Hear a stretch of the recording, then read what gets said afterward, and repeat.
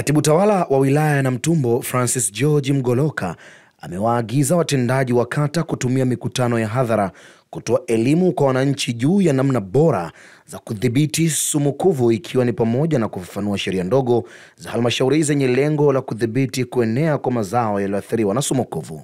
Hayo yamesema wakati wa warsha siku moja ya kutoa mafunzo kwa watendaji wa halmashauri ya wilaya ya Namtumbo, ambapo amesema pamoja na madhara ya kiafya kwa watumiaji wa mazao yaliyoathiriwa na sumu kuvu, pia yanaathiri soko la mazao, hivyo jitihada za makusudi zinahitajika kudhibiti tatizo hilo. Sasa ni, ni rai yangu kwenu, hii sheria ili iweze kufanya kazi, na nyie mmeitwa mahali hapa, lengo kubwa ni kwenda kutoa elimu kwa wakulima wetu.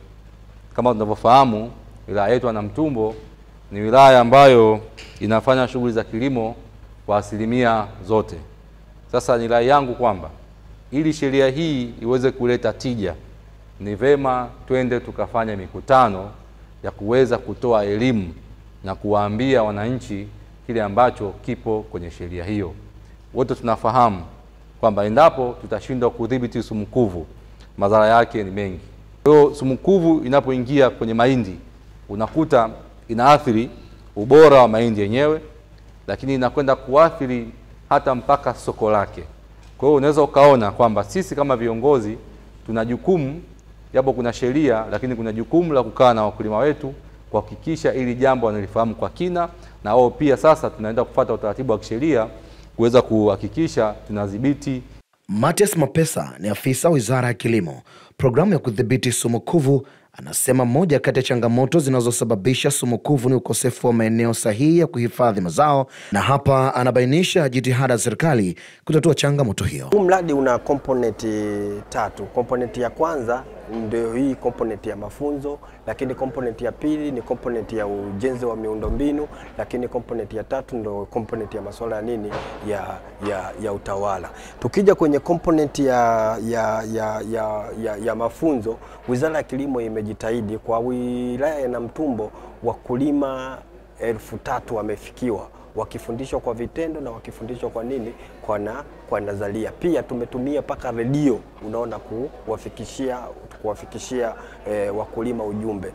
Tumefanya mafunzo kwa madiwani wa kata zote, tumefanya mafunzo kwa watendaji wa kata zote, tumefanya mafunzo kwa mabwana shamba wa kata zote, ili kuhakikisha mabwana shamba wanafikisha elimu kwa nani, kwa wakulima. Kwa wilaya na Namtumbo tumebahatika kujenga ghala na ghala limekwisha anza kutumika. Ghala hilo litatumika kama kituo cha biashara, pia kuhifadhia mazao ya wakulima. Kwa hiyo ghala hilo litatusaidia eh, kutatua changamoto ya uhifadhi. Kwa hiyo tumejenga ghala moja ambalo ghala hilo litatusaidia eh, wakulima kupeleka mazao yao pale kwa ajili ya kuyahifadhi, na, na kwenye lile ghala ukiangalia paka kuna mahabara mdogo ambayo itakayokuwa inatumika eh, kuhakiki hayo mahindi kama hayana viashiria au hayana visababishi vya hiyo hiyo hiyo hiyo sumukuvu. Jina naitwa Michael Gambi, ni afisa kiungo au mratibu wa mradi wa kudhibiti sumkuvu kwa wilaya ya Namtumbo. Ah, kabla ambapo hawajapata elimu, wakulima wengi walikuwa mazao wanavuna kiholela, kwa maana ya kwamba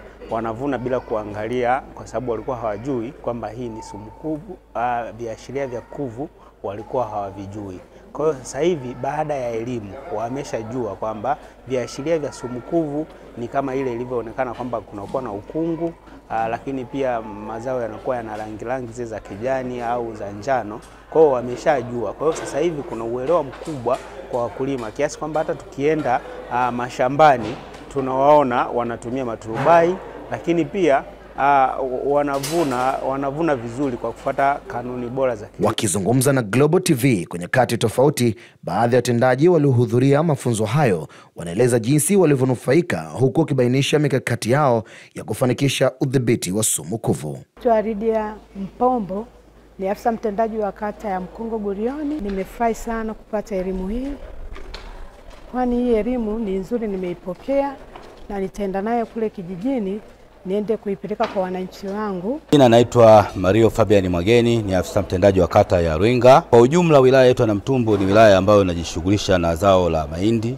Kwa hiyo kwa asilimia kubwa wananchi wetu wanalima zao hili la mahindi, lakini wanahitaji wapatiwe elimu ya kutosha juu ya kupambana na swala zima la sukumukuvu kwenye mazao yetu ya mahindi. Kwa majina naitwa Jane Alfred Kiloroko, ni mtendaji kata ya Luchiri.